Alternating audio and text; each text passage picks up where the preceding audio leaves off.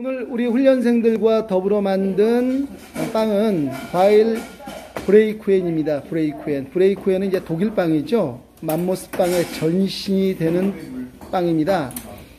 어, 넓게 이제 철판빵이라고 하는 건데 이제 철판에다가 반죽을 피고 거기에다 커스터드 크림 바르고 블루베리라든지 체리베리를 바른 다음에 그리고 소보로를 얹는 독일 빵이에요. 원형은 이제 독일 빵인데 이제 Blechkuchen 하면 이제 사람들이 잘 몰라서 저는 이것을 천연 발효빵 그리고 이탈리아 빵으로 예, 작명을 해서 만들어 봤습니다.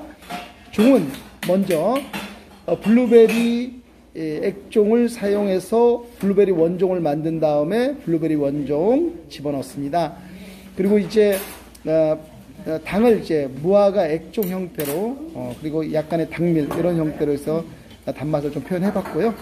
어, 뭐 그리고 그 그러니까 천연 발효빵 신맛이 나지 않는 천연 발효종 원종을 이용한 예, 천연 발효빵이고 이름은 우리 한국 사람들이 잘 이해할 수 있게끔 뭐 브레이크엔 하면 잘 모르니까 과일 포카치아 이렇게 장명을 했고요. 잘라서 팔면 되겠습니다. 감사합니다.